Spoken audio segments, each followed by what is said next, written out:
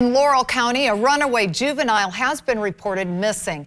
According to the Laurel County Sheriff's Office, 17-year-old Sean Hansel was last seen off of Laurel Cove Road at 9.30 p.m. last night. He is believed to be wearing a blue and white sweat outfit and sandals. If you or anyone you know has any information about his whereabouts, you are asked to contact the Laurel County Sheriff's Office.